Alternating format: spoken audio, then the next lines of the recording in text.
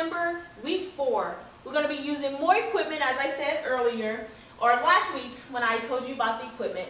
If you don't have this equipment at home, that's okay. You don't have to use equipment. Just whenever you want to do any type of pull-ups or abs, you can relocate to a gym and they'll have these machines as well.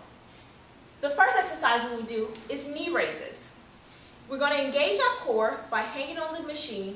They also have a pull-up bar and also a bar for ab and core connection. We're going to place both hands on the top of the bar. We're going to bring our knees in.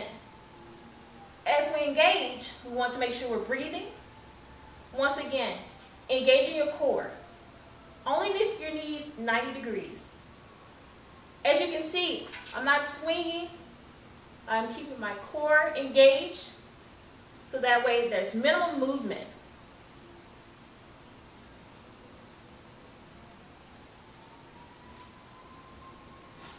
As you complete those exercises, take at least two to three minutes rest in between those.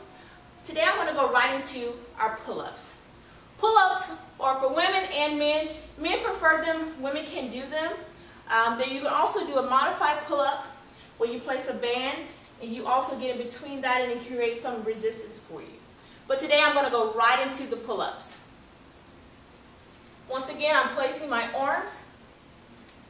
You can place them frontwards or backwards. An easier engagement is to place your hands with your fists facing outward. I'm going to come up. These are also known as chin-ups.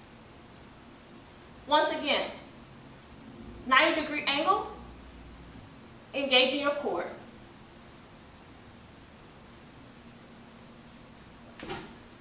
Those will be pull-ups and knee December the fourth week. See you in January.